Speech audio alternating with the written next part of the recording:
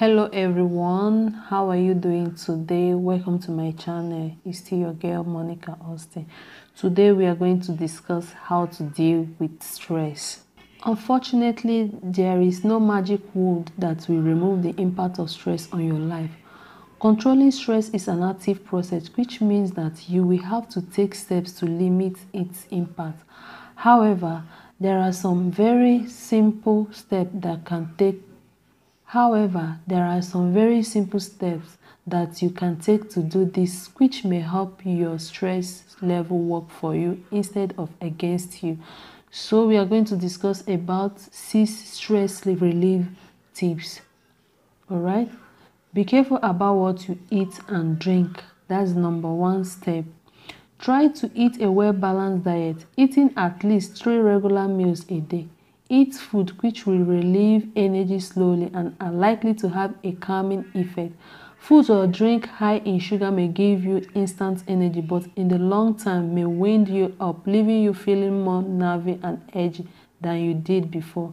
Limit your consumption of caffeine particularly found in tea, coffee, fizzy soft drink and Problos tablets Excess caffeine tends to heighten arousal and increase. It can also impair your concentration and may keep you awake at night. Try to also limit your use of alcohol and to avoid all use of non-prescribed drugs. This may take you feel better in the short term but can prevent you from sleeping properly. They can also impair your ability to remove the work that you are trying to reverse. Some people drink alcohol or smoke more to control their stress level but it would be a good decision to try to develop more healthy ways of controlling your stress. Step 2. Get enough sleep. Make sure that you get plenty of rest. 6 to 8 hours at night are recommended. If getting a sleep is a problem, ensure that you have at least a half an hour break from your revision before going to bed. Use this break to do anything relaxing which will take your mind off your work such as having a soak in the bath, chatting to your friends, writing a letter, listening to some music. Okay? Step 3. Take okay? Step 3.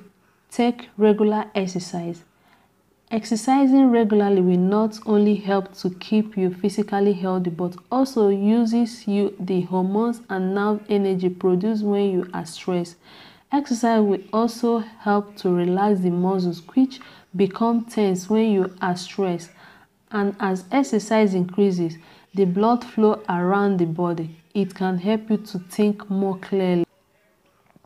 You do not have to take up a strenuous sport.